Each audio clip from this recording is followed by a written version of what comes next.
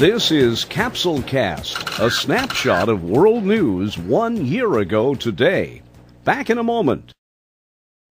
On October 28, more than 50 million people were told they were in the path of that late season Hurricane Sandy. We still see high surge values uh, all along the New Jersey shore. John Cangialosi made the announcement from the Hurricane Center in Miami.